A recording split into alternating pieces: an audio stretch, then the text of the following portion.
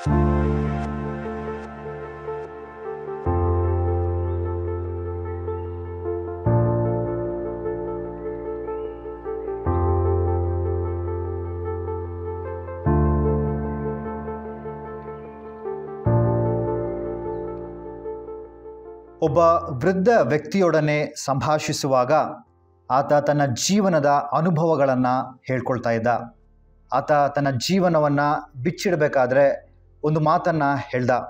ನಾನು ಯುವಕನಾಗಿರಬೇಕಾದ್ರೆ ನಾನು ಅತ್ಯಂತ ಶಕ್ತಿಶಾಲಿಯಾಗಿದ್ದೆ ಸಾಮರ್ಥ್ಯ ಉಳ್ಳವನಾಗಿದ್ದೆ ಆಗ ನನ್ನ ಯೋಚನೆ ಕ್ರಾಂತಿಕಾರಿ ಯೋಚನೆಗಳಾಗಿದ್ದವು. ನಾನು ಅಂದ್ಕೊಳ್ತಾ ಇದ್ದೆ, ಈ ಲೋಕವನ್ನು ನಾನು ಬದಲಾಯಿಸಬೇಕು. ಈ ಲೋಕದ ಎಲ್ಲ ಜನರನ್ನು ನಾನು ಬದಲಾಯಿಸಬೇಕು. ಅನ್ಯಾಯ ಎಲ್ಲಿದೆಯೋ ಅದೆಲ್ಲವನ್ನು ನಾನು ತಡೆಗಟ್ಟಬೇಕು ಅಂತ ಹೇಳಿ ಅದು ನನ್ನ ಮನಸ್ಥಿತಿಯಾಗಿತ್ತು. ಆದರೆ ವರ್ಷಗಳು ಉರುಳಿದವು. ನಾನು ಮಧ್ಯ ವಯಸ್ಸಿಗೆ ಹೋದೆ. ಮಧ್ಯ ವಯಸ್ಕನಾಗಿ ನಾನು ಯೋಚಿಸುವಾಗ ಆ ಒಂದು ಕ್ಷಣದಲ್ಲಿ ನಾನು ಆಲೋಚಿಸುವಾಗ ಯಾರನ್ನೂ ಸಹ ನಾನು ಬದಲಾಯಿಸಲು ಸಾಧ್ಯವಾಗಲಿಲ್ಲ. ಒಬ್ಬ ವ್ಯಕ್ತಿಯನ್ನು ಸಹ ನಾನು ಬದಲಾಯಿಸಲು ಸಾಧ್ಯವಾಗಲಿಲ್ಲ. ಆಗ ನಾನು ದೇವರಲ್ಲಿ ಬೇಡಿಕೊಂಡೆ. ಪ್ರಭುವೇ, ಇಡೀ ಲೋಕವನ್ನೆಲ್ಲ, ನನ್ನ ಬಂಧು ಬಾಂಧವರನ್ನು, ನನ್ನ ಸಂಪರ್ಕದಲ್ಲಿರುವಂಥ ನನ್ನ ಸ್ನೇಹಿತರನ್ನು, ನನ್ನ ಕುಟುಂಬವನ್ನು ಬದಲಾಯಿಸಿದರೆ ಸಾಕು. ಆ ಒಂದು ಬದಲಾಯಿಸುವಂಥ ಶಕ್ತಿ ನನಗೆ ಕೊಡಿ ಅಂತ ನಾನು ಪ್ರಾರ್ಥನೆ ಮಾಡಿದೆ ಅಂತ ಹೇಳ್ತಾನೆ. ಈಗ ಆ ವೃದ್ಧ ತನ್ನ ವೃದ್ಧಾಪ್ಯವನ್ನು ತಲುಪಿದ್ದಾನೆ. ವಯಸ್ಸಾಗಿದೆ. ಇನ್ನೇನು ಕೆಲವೇ ದಿನಗಳಲ್ಲಿ ಆತ ಸಾವನ್ನು ಮುಖಾಮುಖಿಯಾಗಿ ನೋಡುವಂತಹ ಈ ಗಳಿಗೆ ಈ ಒಂದು ಕ್ಷಣ ಅವನ ಪ್ರಾರ್ಥನೆ ಇದಾಗಿರುತ್ತದೆ. ಪ್ರಭುವೇ, ಇಷ್ಟು ವರ್ಷಗಳ ಕಾಲ ನಾನು ಮೂರ್ಖನಂತೆ ನಾನು ಆಲೋಚನೆ ಮಾಡಿದೆ. ನಾನು ಬೇರೆಯವರನ್ನು, ಅನ್ಯರನ್ನು ಬದಲಾಯಿಸುವುದರಲ್ಲೇ ನನ್ನ ಜೀವನದ ಈ ಕಾಲಾವಧಿಯನ್ನು ನಾನು ಕಳೆದು ಬಿಟ್ಟಿದ್ದೇನೆ ಬದಲಿಗೆ ಈ ಒಂದು ಕ್ಷಣ ನಾನು ನನ್ನನ್ನೇ ಅರಿತುಕೊಂಡು ನನ್ನನ್ನು ಮೊದಲನೇದಾಗಿ ನಾನು ಬದಲಾಯಿಸಿಕೊಳ್ಳುವಂಥ ಶಕ್ತಿ ಕೊಡಿ ಅಂತ ನಾನು ನನ್ನ ಪ್ರಭುವಿನಲ್ಲಿ ನಾನು ಪ್ರಾರ್ಥನೆ ಮಾಡ್ತೇನೆ ಅಂತ ಹೇಳ್ತಾನೆ.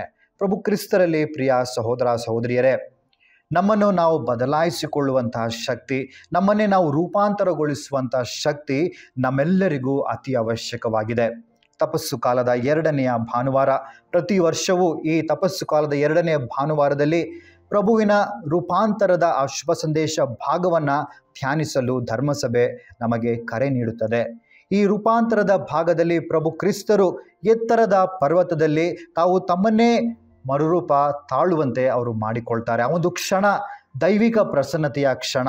ಆ ಒಂದು ಕ್ಷಣ ಪ್ರಭು ಯೇಸು ತಮ್ಮ ಮಹಿಮಾನ್ವಿತ ರೂಪವನ್ನು ಪ್ರದರ್ಶಿಸಿದಂತಹ ಕ್ಷಣ.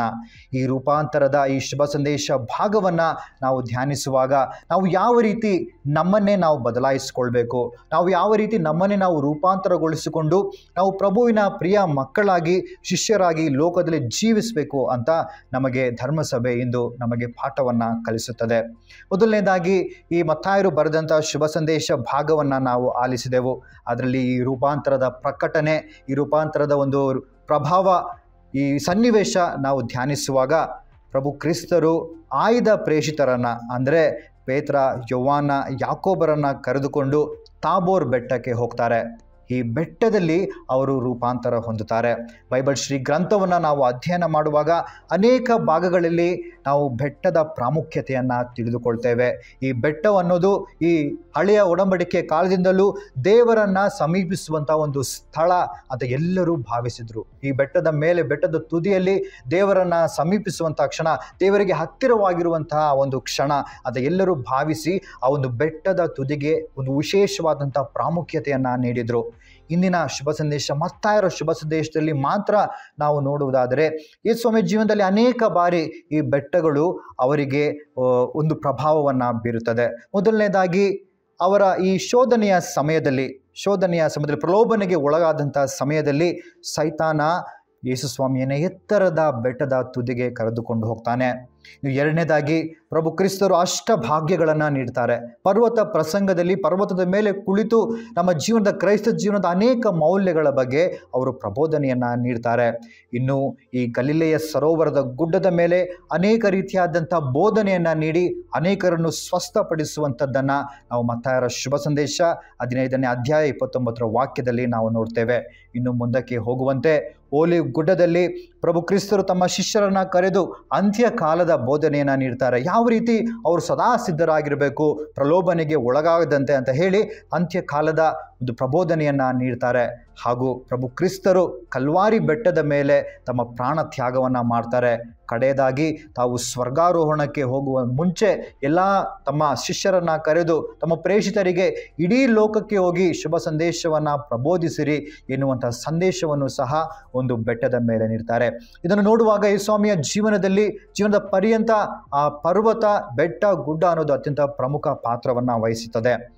ಈ ತಾಬೋರ್ ಬೆಟ್ಟದ ಮೇಲೆ ಪ್ರಭು ಯೇಸು ಮರುರೂಪ ತಾಳುವಾಗ ಇದೇ ಬೆಟ್ಟಕ್ಕೆ ನಿಕಟವಾದಂತಹ ಸಂಪರ್ಕವನ್ನು ಹೊಂದಿದಂಥ ಇನ್ನಿಬ್ಬರು ವ್ಯಕ್ತಿಗಳು ಪ್ರತ್ಯಕ್ಷವಾಗುವುದನ್ನು ನಾವು ಶುಭ ಸಂದೇಶದಲ್ಲಿ ಕೇಳಿದೆವು.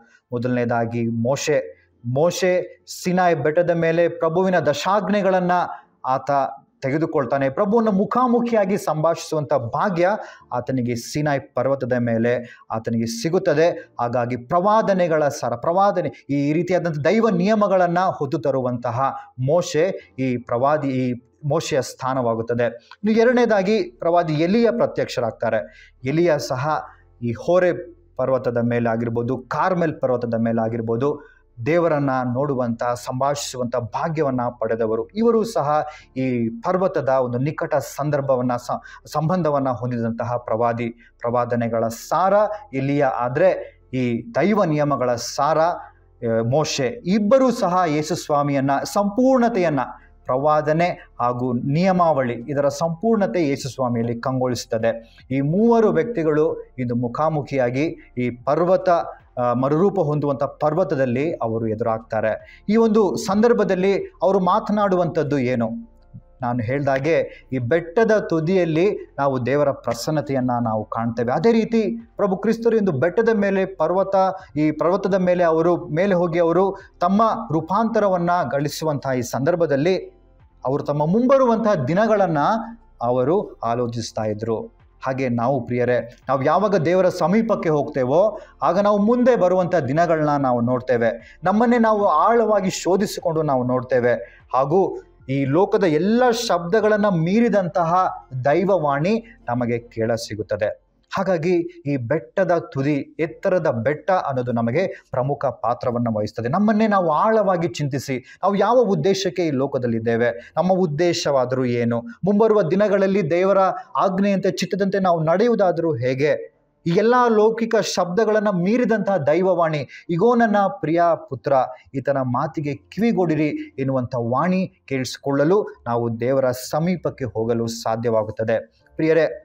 ಇಂದು ವಿಶೇಷವಾಗಿ ಪ್ರಭುವಿನ ಈ ಮರುರೂಪದ ಈ ಪ್ರಕರಣವನ್ನು ಧ್ಯಾನಿಸುವಂತಹ ಸಂದರ್ಭದಲ್ಲಿ ಧರ್ಮಸಭೆಗೆ ನಮಗೆ ಮೂರು ಮುಖ್ಯ ಅಂಶಗಳನ್ನು ನಮಗೆ ನೀಡ್ತಾ ಇದೆ. ಮೊದಲನೇದಾಗಿ, ಪ್ರತಿಯೊಂದು ಬಲಿ ಪೂಜೆಯಲ್ಲಿ ನಾವು ಭಾಗವಹಿಸುವಾಗ ಪ್ರಭು ಕ್ರಿಸ್ತರು ಸಾಧಾರಣ ರೊಟ್ಟಿ ಮತ್ತು ರಸವನ್ನು ತಮ್ಮ ಸ್ವಂತ ಶರೀರ ಮತ್ತು ರಕ್ತವಾಗಿ ಮಾರ್ಪಡಿಸುತ್ತಾರೆ. ಆ ಒಂದು ಸಂದರ್ಭ ನಮ್ಮನ್ನೇ ನಾವು ಮರುರೂಪಗೊಳಿಸಿಕೊಳ್ಳುವಂತಹ ಸಂದರ್ಭವಾಗಿದೆ. ನಮ್ಮ ಹಳೆಯ ಜೀವನವನ್ನು ಬಿಟ್ಟು, ಈ ತಪಸ್ಸು ಕಾಲದಲ್ಲಿ ನಮ್ಮ ಹಳೆಯ ವ್ಯಕ್ತಿತ್ವವನ್ನು ಬಿಟ್ಟು ಹೊಸ ವ್ಯಕ್ತಿಯಾಗಿ ಮಾರ್ಪಡಿಸುವಂತಹ ಸಂದರ್ಭ.